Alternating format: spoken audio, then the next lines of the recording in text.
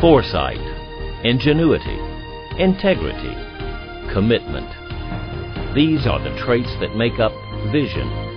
They're the traits that can transform a landscape, and they're the traits that deliver lasting value and sustainability.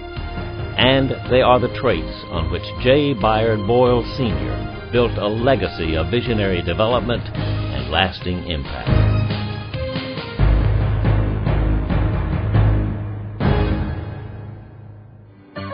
Memphis was booming in 1908. The city was rebuilding rapidly from the decimation of the yellow fever epidemic, and it now had its first library, its first skyscraper, and the new Frisco Bridge across the Mississippi River.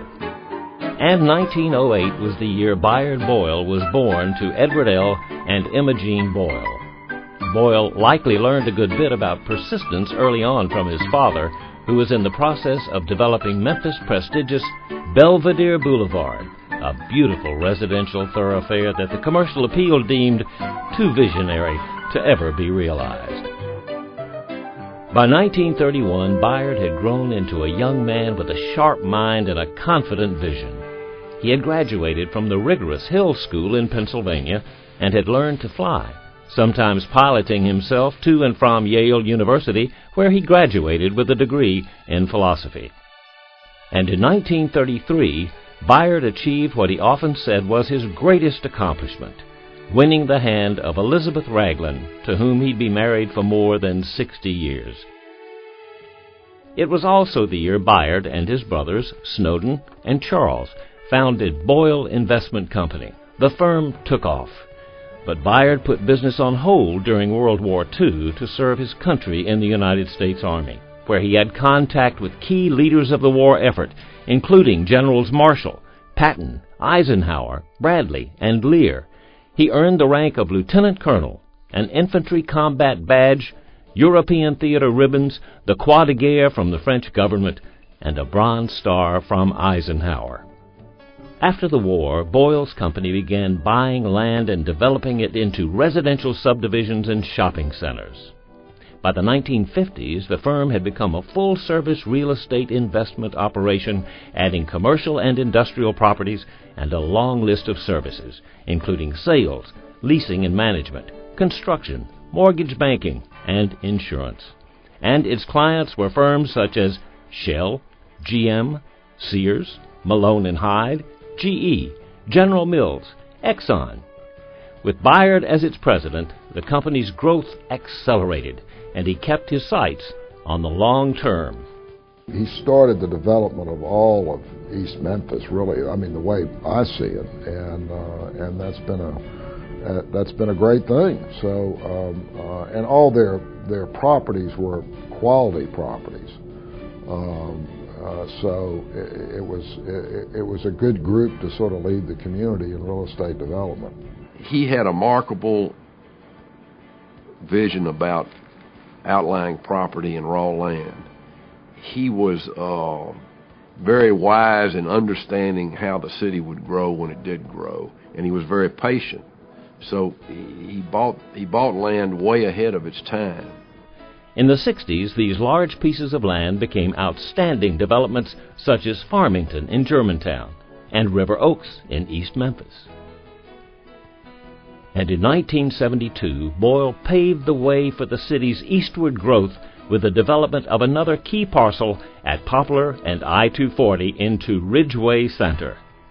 Cited by many as Memphis' first office park and one of the first in the South, Ridgeway Center became home to two million square feet of office space, restaurants, a church, a school, condominiums, a towering Hyatt Regency Hotel, and the Regalia Shopping Center. The area we're, we're in here at Ridgeway Center, this whole area, all the way from south of Poplar all the way to north of Walnut Grove, is almost completely part of his vision.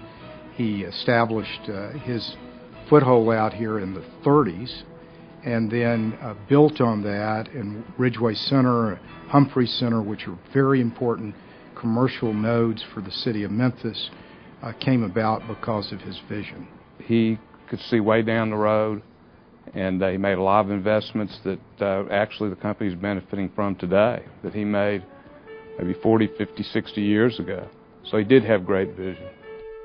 And more than 30 years ago, Boyle applied the same long term vision to see the future need for an artery connecting Germantown and Walnut Grove south of the Wolf River. Boyle began plans for Humphreys Center at ground zero for the likely artery, and more than a decade later, Humphreys Boulevard was built almost exactly along his projected route. Today, Boyle's properties are home to many of the region's leading companies, including Morgan Keegan, Baptist Memorial Healthcare, Marsh, Helena Chemical, and Thomas and Betts, all on the foundation of Bayard Boyle Sr.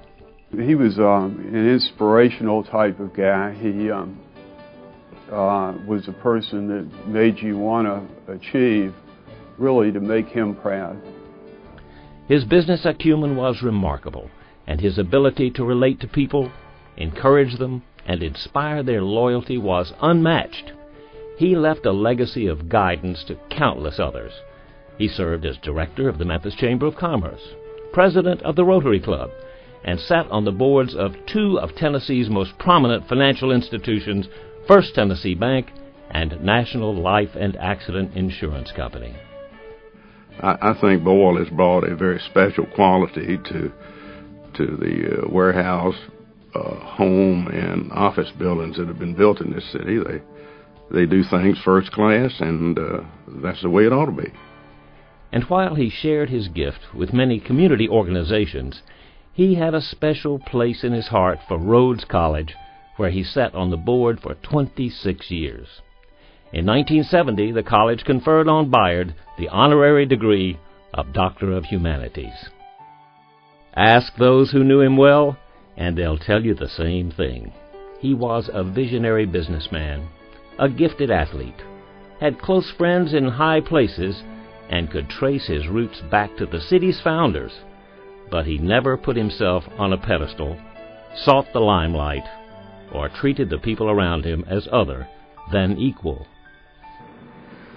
He didn't take things seriously that you ought not take seriously. Didn't take himself seriously, but he took seriously what he really believed in. He, he was uh, really strong on honesty, honor, integrity, and courage, and uh, loyalty he really had those qualities in spades and he instilled them in others. He told me a story once that uh, he had developed some subdivision lots up in the Poplar White Station area uh, north of Poplar. And he sold a lot to Kemmons Wilson to build a market house on. And he said several months went by, and one day uh, Mr. Wilson comes to see him, and he says, Bayard, we got a little bit of a problem here. He said, I built that house on the wrong lot. We need to straighten that out. Well, conventional wisdom today, people people would say, "Well, geez, Mr. Wilson, I'm real sorry. Thank you for the house." He said, "I let him sweat overnight, and the next day I said, "Come on, we'll swap deeds. You can have the lot you built the house on." So, shows you what kind of a man he was. Probably one of my fondest memories of him. He he loved to play golf, and I loved to play golf, and he took me to a lot of great golf courses, and it took me several years to get up the uh, the gumption to ask him to take me to a specific wonderful golf course and I finally asked him and we were sitting in his office and uh um he looked at me and he had that twinkle and that kind of look that I always sort of interpreted as, you know, you damn fool, kind of glint in his eye and he said, uh, you know, when are you going to understand uh that you belong to these kind of golf courses so you can take your friends? And I thought, golly, you know, he views me as a friend, and he made you feel like you were seven feet tall. And he did that for everybody. Well, a business project, a social project, a civic project, when he got involved in it, the crowd swelled. And he just had that kind of magnetism and leadership. If Boyle Investment was doing it, it was done right. And that was just like a handshake used to be in the cotton business.